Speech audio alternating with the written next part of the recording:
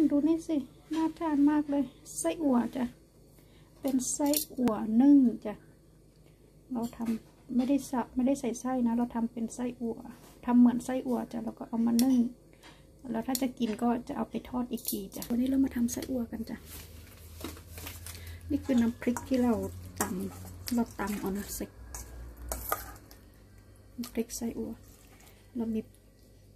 พริกกระเทียมหอมแดงตะ ร้ข่า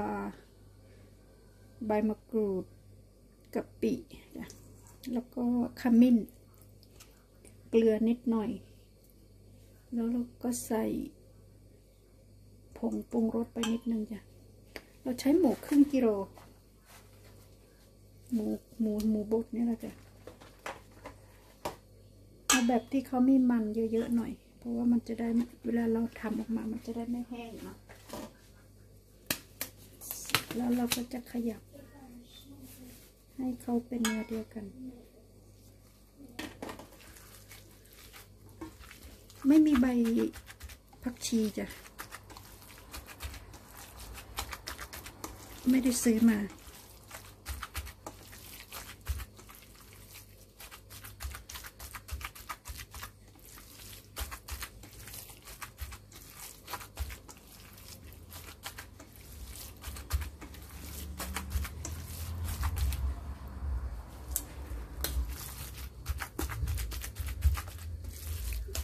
นวดให้เขาเหนียวอะจ้ะ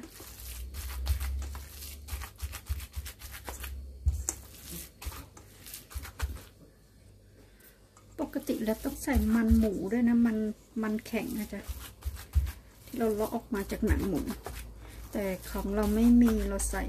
น้ำมันพืชแทนจ้ะเพราะหมูมันก็มีมันอยู่แล้วเนาะยี่สิบเปอร์เซ็นต์ เราก็เลยไม่ต้องซื้อมันหมูมาใส่ นวดไปเรื่อยๆจ้ะพอเหนียวดีแล้วเราก็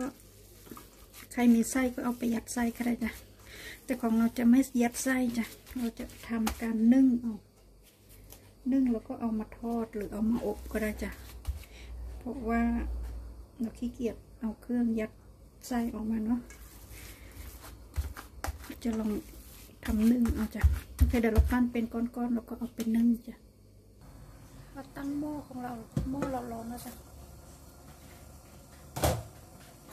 เราก็เอาไส้อั่วของเราเนี่ยเราลงไปนึ่งได้เลย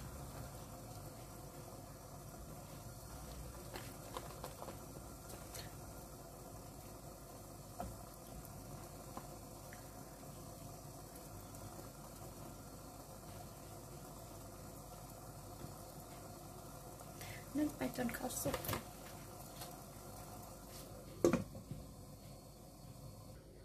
แล้วก็นึ่งมาจนมานึ่งจนสุกแล้วนะ นิ่มมากเลย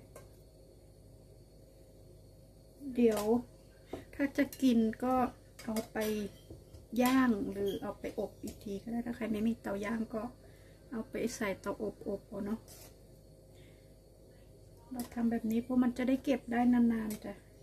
ถ้าเราทำสดไว้มันจะเก็บได้ไม่นานร้อนหอมหอมหอมมากเลย โอเค เรายังไม่กินจ้ะเพราะเรายังไม่หิวเนาะเราก็จะ